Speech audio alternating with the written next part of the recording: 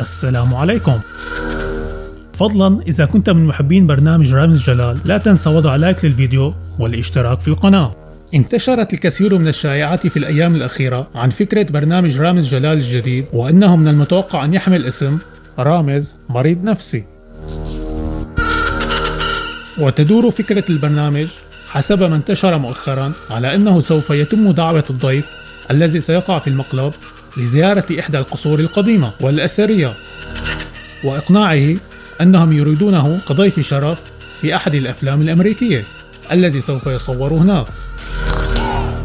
وبعد وصول الضيف للقصر يقوم باستقباله أحد الممثلين الهوليوديين وهذا ما سوف يبعد الشك عن الضيف على أنه قد يكون مقلب. ومن ثم بعد قدوم فريق تصوير الفيلم المزيف يقوم مخرج الفيلم بشرح الدوري الذي سيلعبه الضيف ويخبره أيضا عن تاريخ القصر وأن أناسا كثر في هذا القصر قد قتلوا أو فقدوا فيه. وذلك بسبب أن أحد أصحاب القصر الذي كان يسكنه أصيب فجأة بالجنون واختفى بعدها.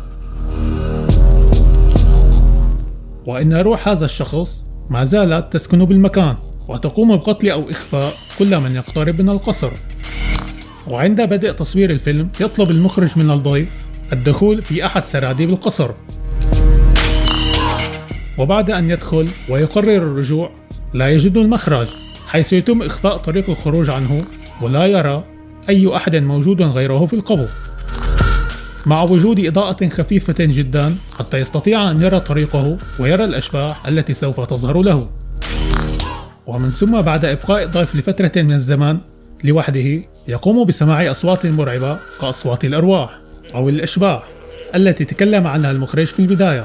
ثم فجأة ينهار جدار القبو ويظهر شخص من خلف الجدار يشبه الزومبي يحمل سكينا.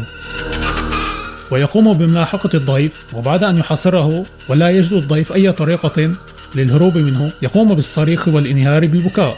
وفي هذا الوقت يقوم الشبح بالكشف عن هويته حيث يظهر أن الشبح كان رامز جلال وطبعا هذه إحدى الأفكار المتوقعة لبرنامج رامز جلال الجديد في العام 2021 ومن الممكن أنها مجرد فكرة قد انتشرت عمدا لإبعاد الأنظار عن الفكرة الرئيسية. وقد قمنا في فيديو سابق بنشر فكرة أخرى قد انتشرت كثيرا أيضا عن ما هو متوقع أن يكون برنامج رامز جلال الجديد وهي رامز في القطار.